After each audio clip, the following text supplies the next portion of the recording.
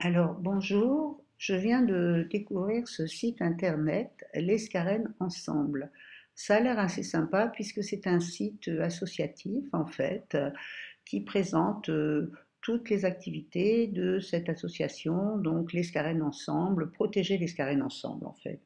Comme vous le verrez sur le site, toutes sortes euh, de sujets sont approchés. Alors bien sûr, il y a euh, des pages sur le prochain conseil municipal, la façon dont les, citoyens et les habitants d'une commune peuvent se renseigner à propos des activités de la commune.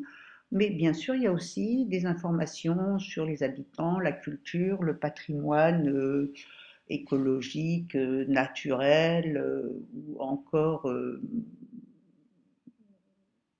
architectural. Toutes les richesses naturelles. Alors, euh, visiblement, le site est en cours de construction, mais comme on le voit, euh, il y a vraiment toutes sortes d'aspects qui vont être euh, évoqués. Alors là, on a par exemple des petites vidéos sur des insectes et des animaux pris sur le vif, avec beaucoup de liens vers des sites qui sont soit, par exemple là, c'est le site de l'Association des naturalistes de Nice et des Alpes-Maritimes.